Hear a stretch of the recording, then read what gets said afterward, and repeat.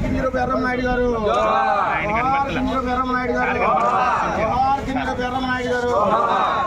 కింజరపు ఎర్రమనాయుడు గారు.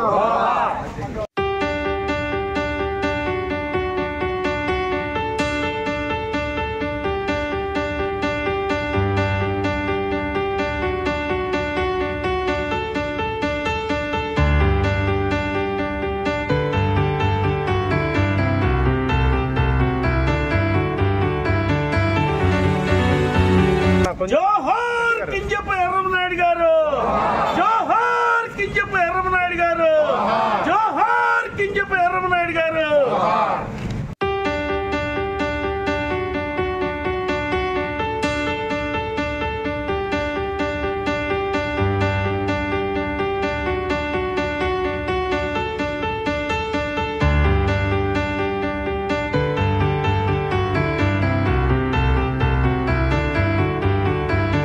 కింజరపు ఎర్రనాయుడు గారి పదకొండవ వర్ధంతి సందర్భంగా ఇక్కడ మా ఆయన విగ్రహానికి పొలమాలలు వేసి ఆయన ఆయన్ని ఆయన ఆయన తలుచుకుని మేము మేము మేమంతా కార్యక్రమం చేసుకుంటాం జరిగిందండి.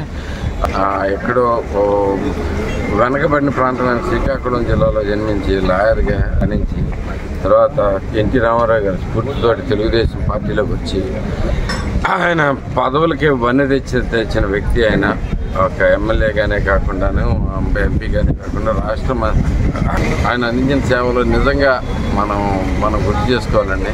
ఎందుకంటే పేదవాళ్ళు ఎవరున్నా కానీ ఆయన ముందుకొచ్చి వాళ్ళ వాళ్ళ కష్టం విని చాలా చాలా చక్కగా హెల్ప్ చేసుకుంటా మన తెలుగుదేశం పార్టీ పార్టీని మొత్తం ఉత్తరాంధ్రలో ఉత్తరాంధ్రలో ఒంటి చేత్తో నడిపించిన వ్యక్తి ఆయన.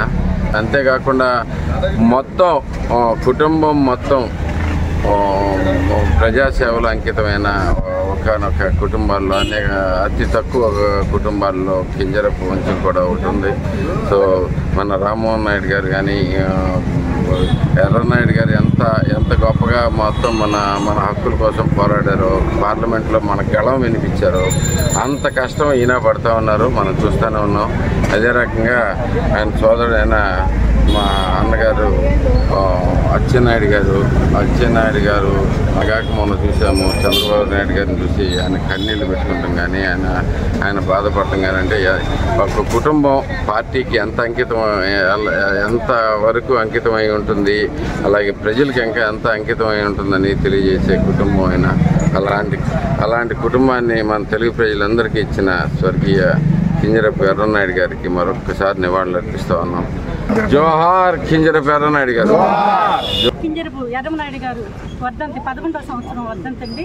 ఆయన శ్రీకాకుళం నుండి విజయనగరం ఒక పెళ్ళికి ఒక స్నేహితుల పెళ్ళికి అని బయలుదేరి వెళ్ళి అక్కడ మళ్ళా తిరిగి ప్రయాణంలో ఆయన కార్ యాక్సిడెంట్లో మృతి చెందడం జరిగింది.